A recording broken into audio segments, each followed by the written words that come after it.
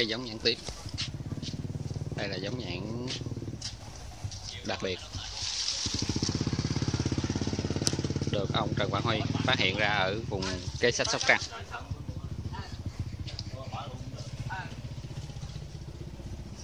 Và điểm đặc biệt nhất của giống nhãn này đó là nó có màu tím.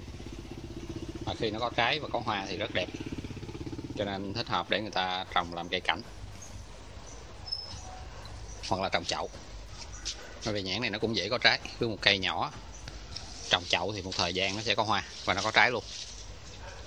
Mặc dù thì trồng chậu nó cũng không có dễ, bởi vì bất cứ cây gì mà trồng chậu thì đòi hỏi kỹ thuật nó phải hơi khó hơn so với trồng ở ngoài đất.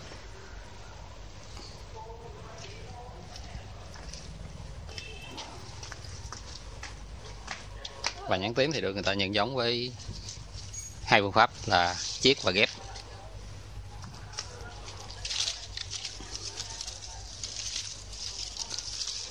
Nó là đây là hai cây theo hai phương pháp khác nhau một cây chiết và một cây ghép. Cây chiết nghĩa là cái cành của cái nhãn ở trên cây người ta bó bầu và nó ra rễ.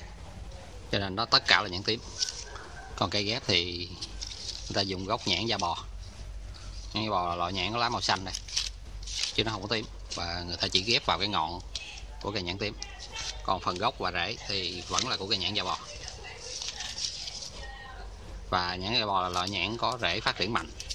Cho nên cây ghép nó sẽ phát triển mạnh hơn là cây chiết và dễ trồng hơn.